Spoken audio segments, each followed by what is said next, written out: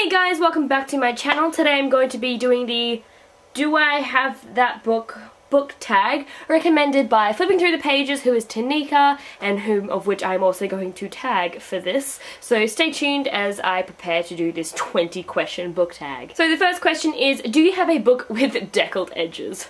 Do I have a book with deckled edges? If you don't know me I buy books for how they look which means I have shitloads of deckled edged pages. Deckled edge. Deckled edged books. I kind of just like realized when I said deckled edged pages, my first thought was like these ones that have like the like edges that are like cut differently, which like the closest one to me was one of the books in a series of unfortunate events by Lemony Snicket. But if you're also after one that's like colored pages, colored deckled pages, I I don't know. Then yeah, I have a shitload of those too. And once again, just picking the closest one to me, we have got one of the Harry Potter Slytherin editions which is sexy as hell. Question number two is, do you have a book with three or more people on the cover? Good question. So the one that I have is Home Time by Campbell Whyte. This is a bit more of like a graphic novel comic kind of thing, but it's a really, really cool story. It is so unique and interesting and you kind of have no idea where each page is going to take you, but it's really good and the art's really good in it and I will definitely be reading more by Campbell Whyte. So question number three is, do you have a book based on another fictional story? Does that mean that I can do Carry On since it's pretty much based on Harry Potter? Not even the first one in the series, but the Lunar Chronicles by Marissa Meyer. Each of them are set on different fairy tales. So Cinder's based on Cinderella, Scarlet Red Riding Hood, Winter, which is Snow White, and the other one, which is Cress, and that one is Rapunzel. An amazing series, by the way. If you haven't read it, do it. Do you have a book with a title 10 letters long?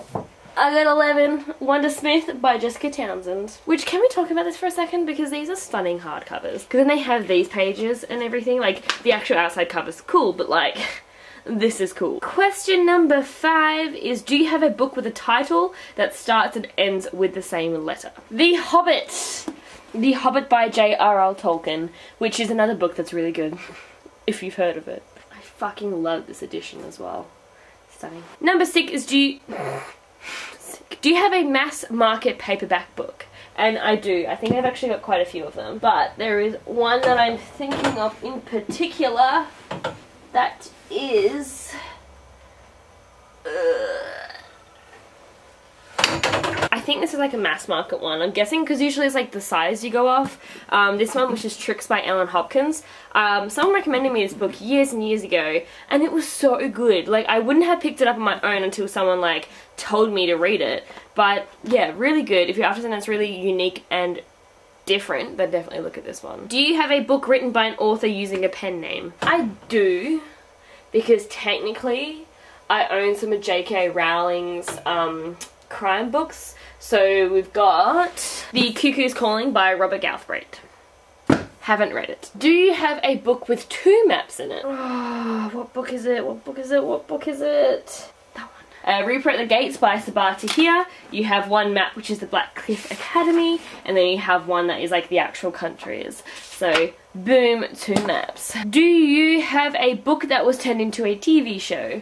Um, quite a few of them actually. Tomorrow When the War Began by John Marsden. They did a wicked TV show of this one. Um, it was an Australian production and it was like a small um, cast that they did a thing, I think it was through like ABC, and it turned out to be really, really good. And I don't know if they're doing a second series or not, I should probably look that up after this, but if you guys get the chance, or if it's still online somewhere, definitely take a look at it. Do you have a book written by someone who was originally famous for something else, e.g. celebrity, athlete, politician slash TV personality? I don't know if it really counts, I've lent the book out, but there is an absolutely remarkable thing by Hank Green. So I obviously know Hank Green. He's a, YouTube personality. Um, him he's the brother of John Green. I should have probably led with that one. And so I kind of heard of him as like a person before I heard of him as an author. I didn't even know his book was coming out. So let's do that one. And by the way, that's a fucking top book. I would like to apologize on behalf of my filming self for doing this all the time. So the next one that we have is, do you have a book with a clock on the cover? I just instantly grabbed a clockwork book by Cassandra Clare and there isn't a clock on it. I've got The Night Circus by Erin Morgenstern and believe me, there is a little clock on there.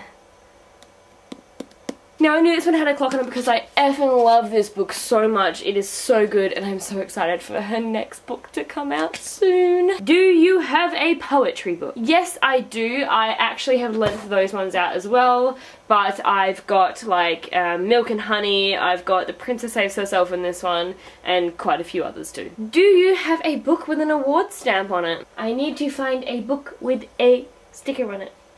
Oh. Okay, you don't have to help me. Oh, you're just gonna sit there though.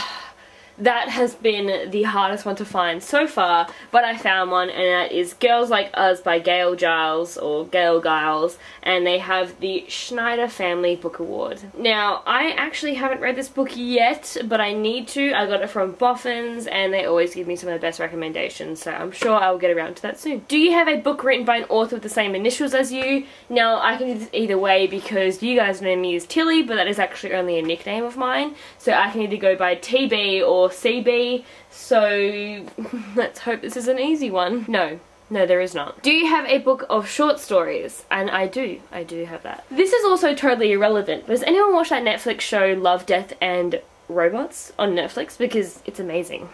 So you should watch that if you like short stories. So for my short story one, I've got quite a few books, but I've chosen Star Wars from a certain point of view. So this is 40 different stories um, from obviously like the Star Wars universe over the last 40 years. So it's a pretty good short story book.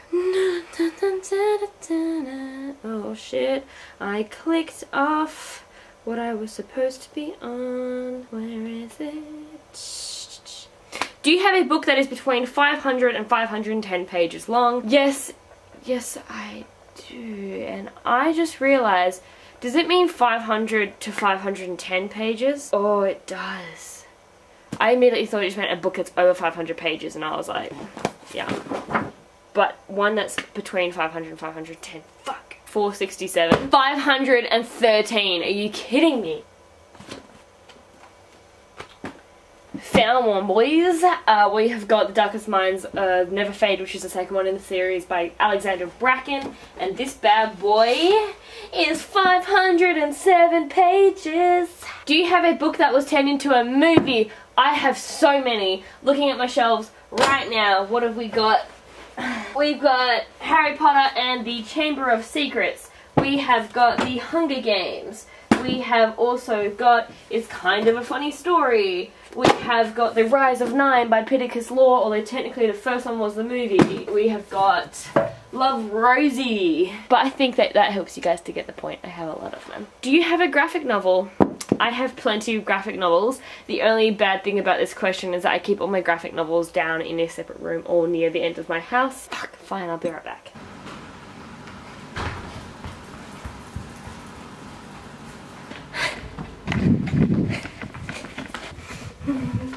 Okay, so the book that I grabbed was Lumberjanes. I really like this one, so I have quite a heap of um, graphic novels, but Lumberjanes is one of my favourite ones, so I'm picking that one. Question number 20, the final question on this book tag is, do you have a book written by two or more authors? This is an easy one for me. I don't currently have the newest one here, but Jay Kristoff and Amie Kaufman, Australian authors, sci-fi writers, absolutely amazing. They own my soul in all their books. Um, one of the ones that we've got closest to me. Gemina, this is the second one in the Illuminae files, um, but they wrote the Illuminae files and they now also have Aurora Rising. And if you guys haven't read Aurora Rising, it has just recently been released and it is fucking amazing. I know that I've been trying not to swear in my videos, but it needs it. It needs that swear word. Anyway, that is that book tag done. So the first person I want to tag is Tanika from Flipping Through Pages. Why don't we be a little generous here, and if Tanika hasn't filmed this video in a month, then we can go onto her Instagram account and just be like,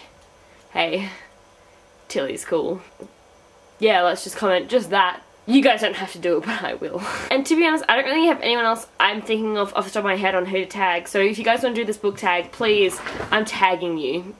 My dog just fell off the couch behind you. Thank you to everyone who sent in recommendations for book videos for me to film. I really appreciate it and if you guys have any more please let me know. I'm probably most active on my uh, Instagram account but I'll leave all my social media down below so you guys can check it out and talk to me on there. Yeah, thank you guys for watching. Now I'm going to do that dreadful task of putting away the stack of books that I've pulled out and I can tell you now, doing this in like color coordination is even worse than when they were just by author's last name. But fuck it, I love it. So yeah, thank you guys for watching and I will see you guys again soon. Um, yeah,